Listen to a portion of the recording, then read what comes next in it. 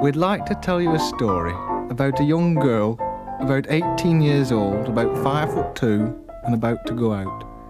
Now, her mother, realising it was the first time out with a young man, called her aside and said, Minnie, you're all dressed up in your finery, your best clothes, and you look smashing. But just remember everything I've told you and be very, very careful. But she had to go and lose it at the Astor.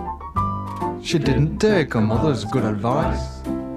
Now there aren't so many girls today who have one, and she'd never let it go at any price. They searched the place from penthouse to the cellar. In every room and underneath each bed. Once they thought they saw it lying on a pillow, but they found it belonged to someone else instead. But she had to go and lose it at the Astor. She didn't know exactly who to blame, and she couldn't say just how or when she lost it.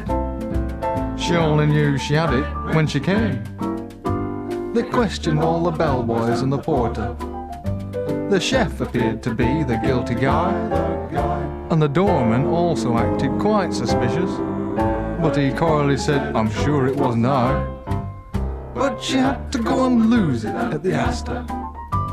It nearly killed her mother and her dad. Now they felt as bad about the thing as she did. After all, it was the only one she had.